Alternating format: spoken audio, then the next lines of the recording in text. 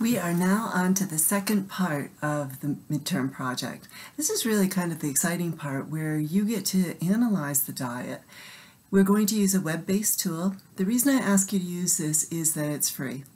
I know that there are ads and it's a little bit chunky, but the other option added $75 to the cost of the textbook. So this is the choice that I made for our class. Um, do not use another site. Um, if you if you already track your diet with um, some kind of web-based tool or an app, um, let me know. We could talk about it. My goal here is to make sure that it aligns with the nutrients that we're going to look at in the project. Okay, um, I'm not interested in calories, um, so don't worry about that information. We're really going to look at um, kind of the nuts and bolts of the analysis.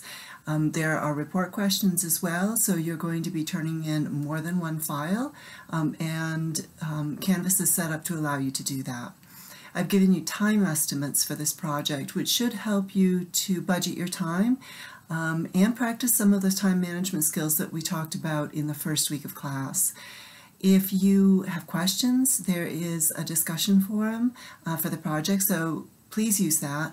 If it's a more personal question, um, something about your diet, by all means email me. Otherwise, I really would prefer that you post the questions because it's going to benefit everyone in the class. And this is how a normal classroom would run where people would raise their hand and ask a question.